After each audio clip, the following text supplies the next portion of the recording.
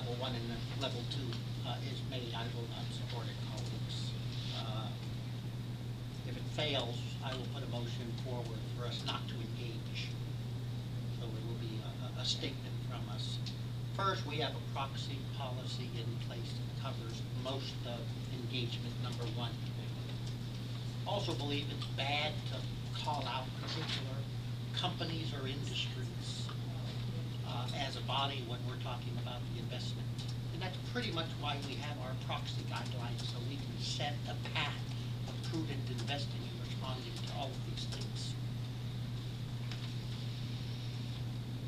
The resolution calls out three banks. We're gonna do something, we do it to all of the banks. It gotta be collective. So that in itself is just a wrong way to do it. Uh, There is no doubt that what happened over the years is pretty shoddy. I think it falls under underwriting quite a bit. You qualify someone at two percent, and a year later it goes up to four percent, a year later it goes up to six. Your payment's doubling the first year, and then Yeah. going up another third. Most people can't make that payment.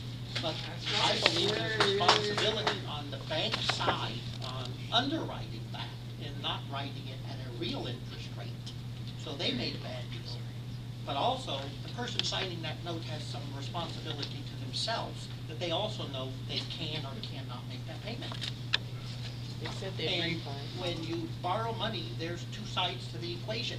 I mean, maybe the banks have money, but the money is our money. It is a form of savings. And the bank has two ends of the bookend, as they say, on responsibility. Safeguarding the person that puts it in in a, in a uh, passbook account and safeguarding it on the other end. And obviously, we're here at the one end, but uh, for me, I understand that the person that puts it in as a savings account is driven by the bank doing the right thing to protect their savings account.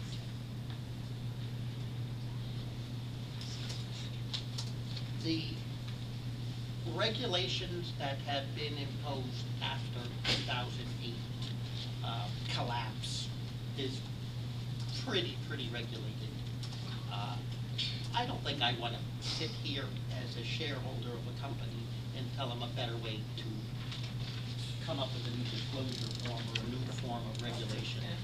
I think uh, my colleague is correct that you deal with that legislatively and it's done smart and all the players uh, will sit at the table.